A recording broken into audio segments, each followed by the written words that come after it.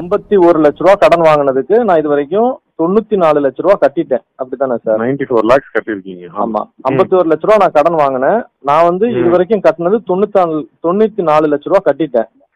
ஆமா. சரி இப்ப என்னுடைய ஐம்பத்தி ஒரு லட்ச ரூபால எத்தனை லட்ச ரூபா கடன் அடைஞ்சிருக்கு சார்? இப்ப அதுல ஃபோர்டீன் லேக்ஸ் தான் அடைஞ்சிருக்கு சார். ஓகே இப்ப பதினாலு லட்சம் தான் நான் கடனை அடைச்சிருக்கேன்.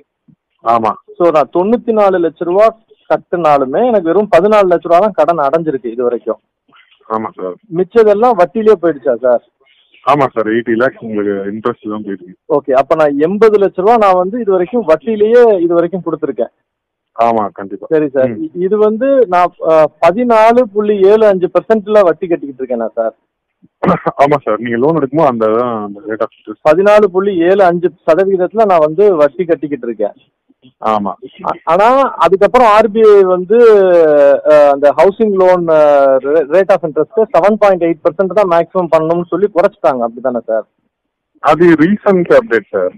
சொல்றது வந்து ரீசெண்டா எந்த வருஷத்துல டூ இயர்ஸ்க்குள்ள வித்தின் டூ இயர்ஸ்க்குள்ள தான் வந்து ரேட் ஆஃப் இன்ட்ரெஸ்ட் வந்து எயிட் பர்சன்டேஜ் பிலோ வந்தது. ஓகே ஆமா ஆனா முதல்ல வெரி ரீசெண்டா இந்த கொரோனா ரீசன்ல வெரி ரீசெண்டா ஆர்பிஐ கண்டினியூஸா சிக்ஸ் இதுக்கு குவார்டருக்கு வந்துட்டு ரெப்போ ரேட் வந்து டிக்ரீஸ் பண்ணிருக்காங்க. ஆமா சார் இந்த டைம்ல தான் வந்து சிக்ஸ் பாயிண்ட் செவன் நைன் ஃபைவ்க்கு வந்துட்டு நாங்க home loan rate of interest கொடுத்துட்டு இருக்கோம். ஃபார். உமன் பர்ச்சேஸருக்கு செவன் பர்சன்டேஜ் அவைலபிள் ரேட் இப்போ வந்து சிக்ஸ் பாயிண்ட் நைன் பர்சன்ட்டுக்கு ஆர்பிஐ வந்து ரேட் ஆஃப் இன்ட்ரெஸ்ட்டை குறைச்சிட்டாங்க.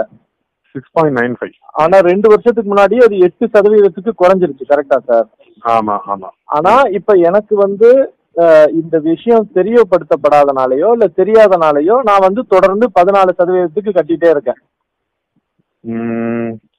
ரேட் ஆஃப் இன்ட்ரெஸ்ட் கன்வர்ஷன் நீங்க பண்ணாதனால பழைய ரேட்லயே கண்டினியூ ஆகுது. ஓகே இப்ப ரேட் ஆஃப் இன்ட்ரெஸ்ட் கன்வர்ஷன் நான் பண்ணியிருந்தா இந்நேரம் நான் வந்து. கடனே அடைச்சு முடிச்சிருப்பேன். ஆல்மோஸ்ட் ஆமா. ஆனா rate. Of invest interest conversion பண்ண எனக்கு தெரியாதனால நான் வந்து இப்ப கடனை அடைச்சிக்கிட்டே இருந்தாலும் தொண்ணூத்தி நாலு லட்சம் கட்டினாலும் எனக்கு பதினாலு லட்சம் தான் அடைஞ்சிருக்கு. ஆமா சார் அதான். பதினோரு பெர்சன்ட் பதினாலு பெர்சன்ட்டுக்கு நான் வந்து வட்டி கட்டிட்டு இருக்கேன். ஆக்சுவலா ஆனா ஆர்பிஐ வந்து அதை எட்டு பெர்சென்டா குறைச்சிருச்சு ரெண்டு வருஷத்துக்கு முன்னாடியே. இருந்தாலும் எனக்கு அந்த விவரம் தெரியல. இல்ல சார் ஆர்பிஐ ரேட் வந்து கைட்லைன் ரேட் தான். அது எனக்கு? தெரியும் சார் நேற்று உட்காந்து நீங்க. சொன்னனால நானும் உட்காந்து நெட்டை உட்காந்து படிச்சேன் ஆர்பிஐ. வந்து பேங்க்ஸுக்கு ஒரு கைட்லைன் கொடுக்குது அதாவது பப்ளிக். இதுக்கு மேல நீ ரேட் ஆஃப் இன்ட்ரெஸ்ட் பண்ணி மக்களை கஷ்டப்படுத்தாத நானே உனக்கு கம்மியான ரேட் ஆஃப் இன்ட்ரெஸ்ட்ல கொடுத்துட்றேன் ஏன்னா நம்ம டெமோக்ராட்டிக் கண்ட்ரில நம்ம அரசாங்கம் மக்களால் தேர்ந்தெடுக்கப்படுற அரசாங்கம்ன்றனால மக்களுக்கு. சாதகம் பண்ணணும்னு ஆர்பிஐ நினைக்குது அதனால. வங்கிகள் வந்து மக்களை வந்து அதிகமா மக்கள்கிட்ட இருந்து பணத்தை புடிங்கிருக்க கூடாதுன்னு ஆர்பிஐ வந்து சில சட்டங்கள் போடுது ஆனா அந்த சட்டங்கள் வந்து மக்களுக்கு போய் சேர முடியாத சூழல் இருக்கு. ஏன்னா மக்களுக்கு அது தெரியல. ஆர்பிஐ வந்து வங்கிகளுக்கு இல்ல நீ வந்து அதிக மக்கள்கிட்ட வட்டி போடாத எட்டு சதவீதத்துக்கு மேல போடாத ஆறு சதவீதத்துக்கு மேல போடாதன்னு சொல்லுது. ஆனா வங்கி வந்து தொடர்ந்து பதினாலு சதவீதத்துக்கு வட்டியை போட்டுட்டு தான் இருக்காங்க. கேட்டா இல்ல நீங்க வந்து எழுதி கொடுத்தா நாங்க வந்து எட்டு பெர்சன்ட் கொடுப்போம். நீங்க எழுதி கொடுக்காதனால உங்க தொடர்ந்து பதினாலு பெர்சன்ட்டுக்கு வட்டி கட்டுங்க.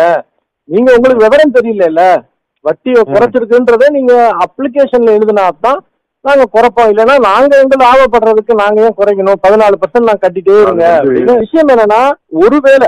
நீங்களே. நீங்க சிங்கிள் பர்சன் பேங்க் ஓனரா இல்ல இல்ல பேங்க் மேனேஜரா இல்ல ஒரு சாதாரண மனுஷனா. நீங்க உங்களுக்கு இதெல்லாம் விவரம் தெரியாம லோன் எடுத்திருக்கீங்க.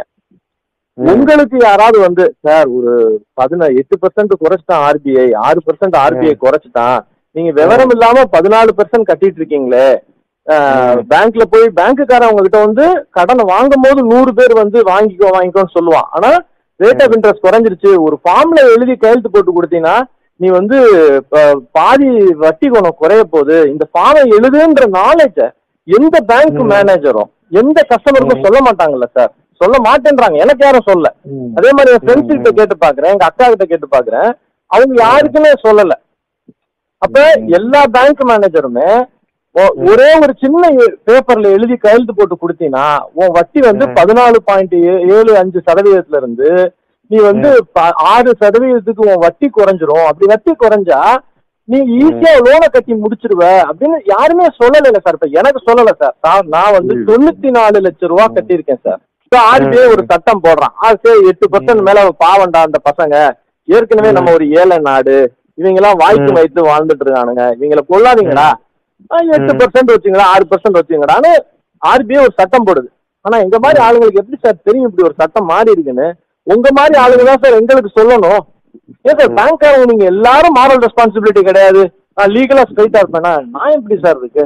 அட்லீஸ்ட் உங்ககிட்ட நான் ரெக்வஸ்ட் பண்றேன். நான் பணத்தை கட்டிட்டு தான் உங்ககிட்ட சொல்றேன். அட்லீஸ்ட் as an இண்டிவிஜுவல் ஒரு நாளைக்கு ஒரு நாலு கஸ்டமர் யாரு கூப்பிட்டு ஏன்டா நீ ஏமாந்துட்டு இருக்கடா? பதினாலு புள்ளி ஏழு அஞ்சு வேணாம்டா. இந்த ஃபார்ம்ல போட்டினா நாளைக்கே ஆறு சதவீதம் வந்துரும்டா. அப்படின்னு சொன்னா. அதை வாழ்க்கைய மாத்திருவீங்களே நீங்க.